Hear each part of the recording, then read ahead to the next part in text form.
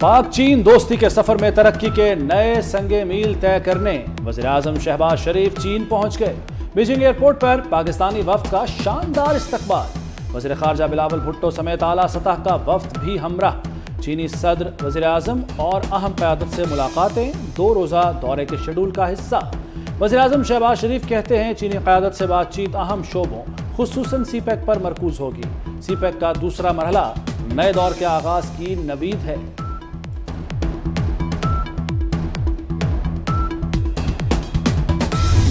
जो काविशें हैं prime minister की चार महीने, पाँच महीने में जितने प्रोजेक्ट्स रुके हुए थे, जो चाइनीज़ इन्वेस्टमेंट ताखीर का शिकार थी, जो एडमिनिस्ट्रेटिव ब्लॉक्स थे, उन सबको प्रोसीजरल ब्लॉक्स को मुकम्मल करके कंप्लीट करके, उनको ख़त्म करके अब ये एक नया दौर सी पैक का इन शुरू होने जा रहा है। और इसी तरह एक शख्स 2014 में कंटेनर पर चढ़ा हुआ था और वही उस वक्त भी प्रेसिडेंट शी के दौरे को सबोटाज करने के लिए वो डिले हुआ सी पैक डिले हुआ उसकी वजह से। वज़ीर आज़म का दौरा चीन सी को आगे बढ़ाने की कड़ी है। मरियम औरंगज़ेब कहती हैं, नवाज़ शरीफ के विजन के मुताबिक सी दोबारा शुरू होने जा रहा है। सी पैक गुजशत चार बरस से ताखिर का शिकार रहा।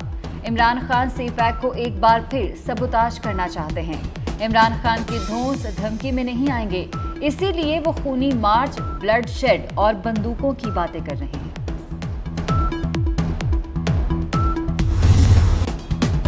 नवाज़ शरीफ मैदान में आएगा तो तुम्हें लग पता जाएगा। नवाज़ शरीफ को चैलेंज करने वाला इमरान 2018 में भी नहीं हरा सका था। इमरान खान का लॉन्ग मार्च पार्ट टाइम है। लंच से शुरू होकर टी ब्रेक पर खत्म हो जाता है। इनका एक ही हदफ है आर्मी चीफ की तकर्री में रखना डालना। इनका ये प्लान भी नाकाम होगा। मरियम नवाज़ के इमरान खान पर ताबड़तोड़ वार। कहा, इमरान खान कहते हैं, एस्टेब्लिशमेंट ने बताया नवाज़ शरीफ चोर है तो फिर अदालत में भी यही बोल देते। क्या तुम्हें एस्टेब्लिशमेंट ने कहा था कि तोशा खाना से तहाइफ लो और पिंकी पीरनी को फ्रंटमैन बनाओ? तोशा खाना केस में इमरान खान को मिली ना अहली तो सिर्फ़ टिप ऑफ़ द आइसबर्ग है।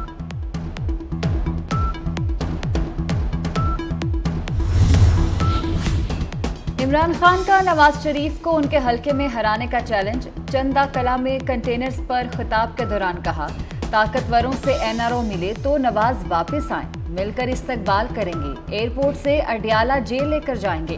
पीटीआई को स्टैब्लिशमेंट से लड़ाने की साजिश की जा रही है। चीफ इलेक्शन कमिश्नर मेरे खिलाफ केस बना रहा है, हर जाने का दावा करूँगा।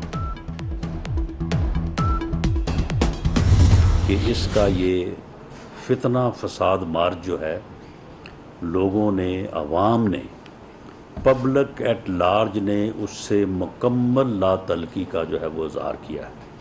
इतफाक़ की ज़रूरत है ना कि उस नफाक की और उस अफरा तफरी और अनारकी के माहौल की जो माहौल जो है वो ये पैदा करना चाहता है। फैसल वाडा ने एक प्रेस कॉन्फ्रेंस की उसने कहा, खून ही खून, लाशें ही लाशें, जनाजे ही जनाजे। और उसके बाद इन्होंने उसको फौरी तौर पे, बग़ैर कोई नोटिस का जवाब लिए पार्टी से निकाल दिया।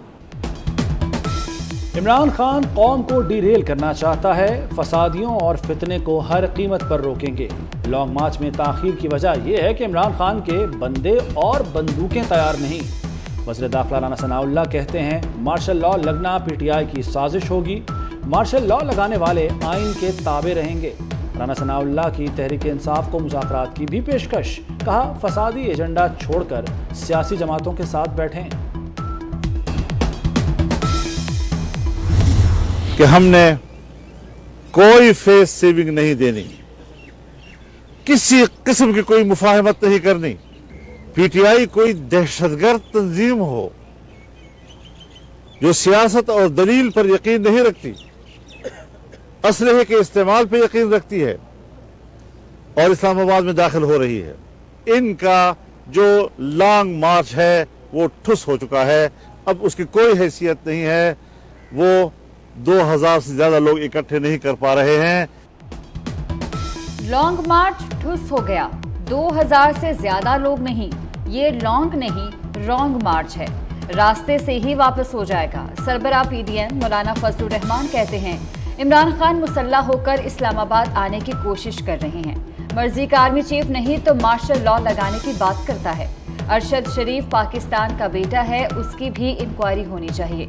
सहाफ़ी सदफ नईम के वाक़े पर अदालती कमीशन बनना चाहिए।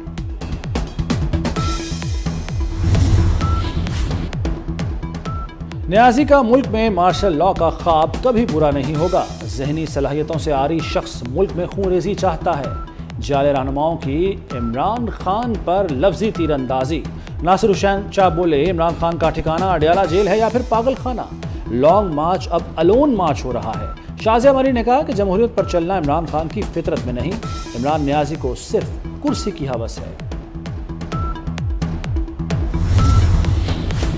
एम पाकिस्तान का इमरान खान को सुर्ख लकीर पार न करने का मशवरा। अमीर हक कहते हैं कि इमरान खान के गैर जमहूरी मुतालबात की हिमायत नहीं करेंगे।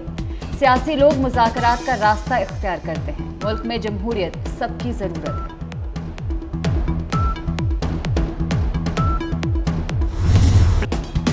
अमेरिका ने इमरान खान का साजिशी बयानिया फिर मुस्तरद कर दिया। तर्जमान अमरीकी स्टेट डिपार्टमेंट नेट प्राइस का कहना है, कई बार कह चुके हैं, हुकूमत गिराने से मुतालिक इमरान खान के इल्ज़ाम में कोई सदाकत नहीं, प्रोपागेंडा नहीं होने देंगे। मजीद बोले, जानते हैं, पाकिस्तान में अभी आम इंतबात की तारीख तय नहीं हुई। अमरीका दुनिया भर में आइनी और जमहूरी असूलों की हिमायत करता है।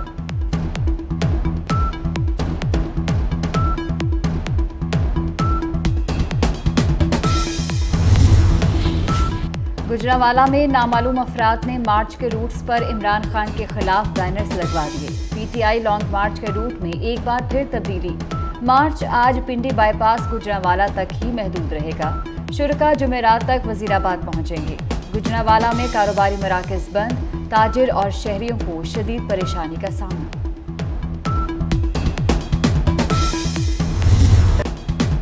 पंजाब पुलिस का इमरान खान को खसूसी प्रोटोकॉल। पुलिस की 40 से जायद गाड़ियाँ लॉन्ग मार्च में शरीक। मार्च के रूट पर भी पुलिस की गाड़ियाँ ही गाड़ियाँ।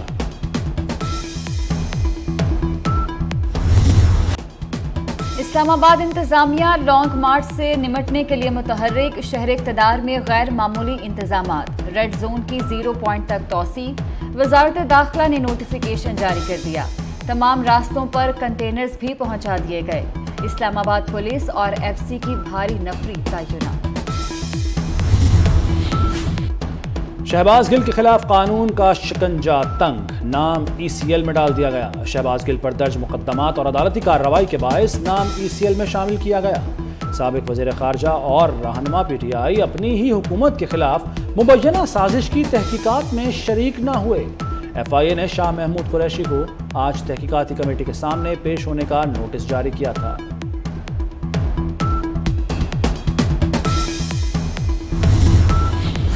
पीटीआई फॉरेन फंडिंग केस में अहम पेशरफ, एफआईए ने तहकीकात का दायरा वसी कर दिया। बैंक इंतजामिया भी तलब।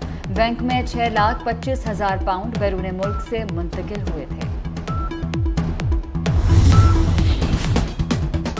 चीफ जस्टिस पाकिस्तान की जर सदारत जुडिशल कमीशन इजलास। जस्टिस आमिर फारूक की बतौर chief justice Islamabad high court तकर्र की सिफारिश। इस्लामाबाद हाई कोर्ट के चीफ जस्टिस अतर मिनल्ला की बतौर जज सुप्रीम कोर्ट तकर्र की सिफारिश की जा चुकी है।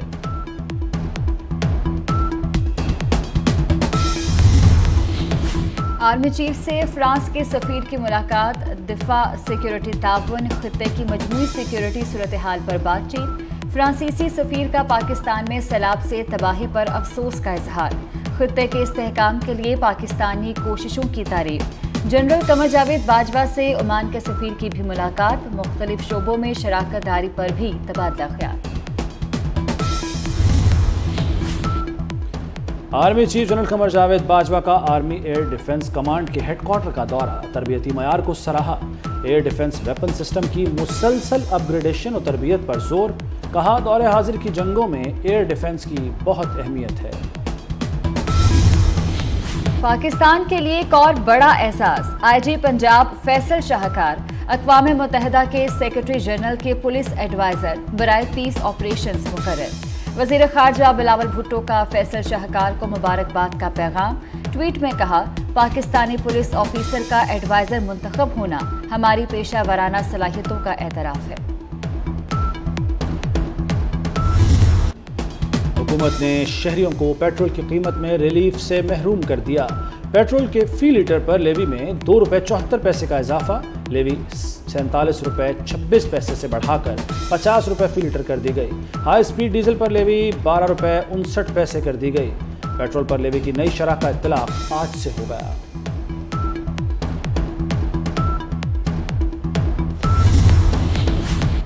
बरतानिया का मौसमियाती तगैर के हवाले से एक और अहम इकदाम। बरतानिया ने पाकिस्तान के लिए मौसमियाती माली ताउन बढ़ाने के इकदाम के तहत मंसूबों का ऐलान कर दिया।